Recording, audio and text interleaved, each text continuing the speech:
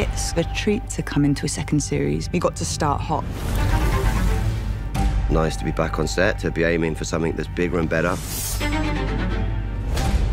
We had such a brilliant reception for season one and wanting to go off with a bang. We've had this goal to make it better this year, to top ourselves. Now that you've raised the bar, you want to maintain or exceed. The scale of season two has been above and beyond my expectations, at least. Costumes feel so much bigger. You look at all the stuff we're wearing, and it took a lot of man hours to make. Everything about it's massive. It's like this room is massive. It's huge. It goes on and on and on. It's bigger, it's badder. We've got more dragons. We've just taken it to a 10 in every department.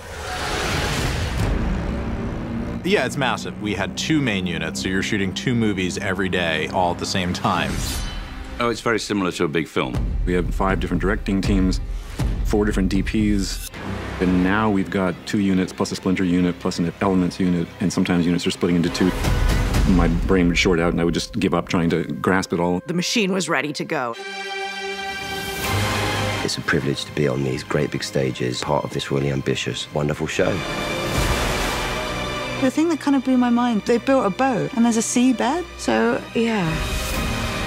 You can build almost anything you want here. It's huge, just the level and the scale of the sets.